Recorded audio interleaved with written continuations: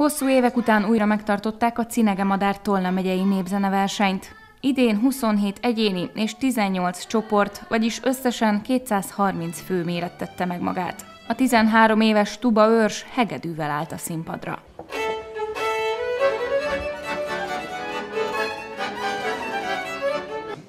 Én az örömért jöttem ide, és azért, hogy megmutathassam az embereknek, hogy én is vagyok, és hogy milyen jó tényleg a hangszeres népzene.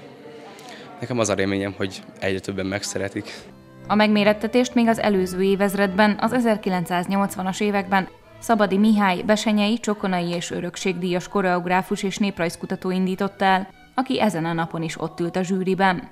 A verseny megálmodója elmondta nagy öröm számára, hogy még mindig él ez a hagyomány. Hosszú ideje, hogy próbálkozunk azzal, hogy a gazdag Tolna megyei népdal kincset tovább örökítsük valahogy, és hát szerencsére most újra vannak vállalkozók. A verseny első elődöntője Tamásiban, még a második szexárdon zajlott. Az ezeken legjobban szerepelt versenyzők jutottak be a döntőbe, így a szakértő zsűri 20 produkciót minősített ezen a napon.